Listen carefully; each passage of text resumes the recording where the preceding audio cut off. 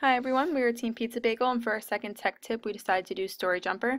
To move along the process I went and created my account but all you have to do is go into your Google account and you're set.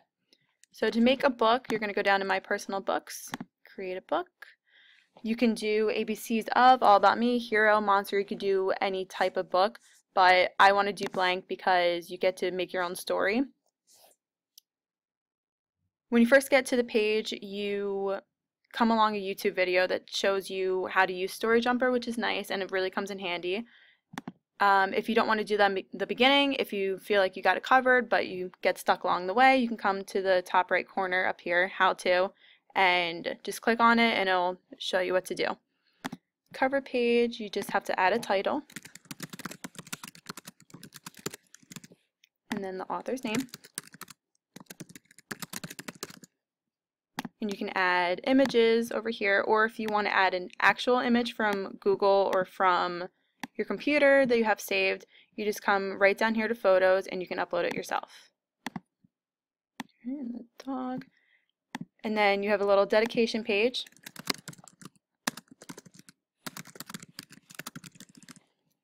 And you can thank whoever. Alright, and then you come to the first page of your story so what you want to do is add a text box, just like this.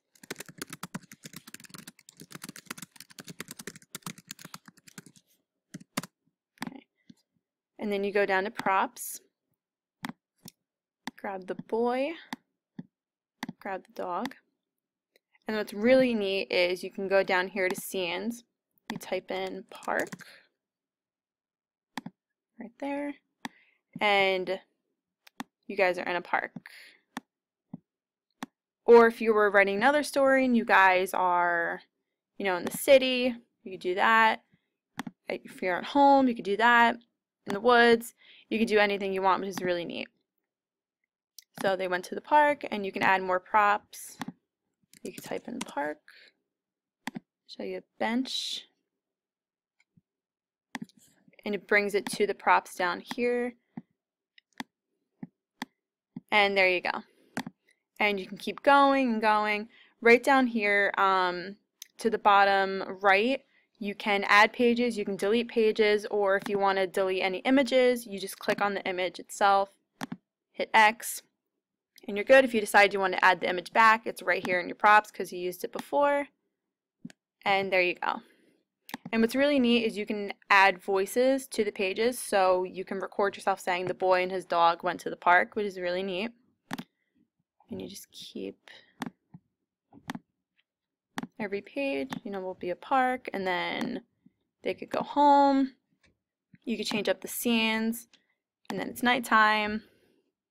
And just keep going for as many pages as you want. And when you are ready to save your book, you just do save and exit. And then you could share it, you could print it, you could edit it more, you could buy it if you want. Um, and that's basically it. So here's our assessment and here's what we're going to have you do with StoryJumper today.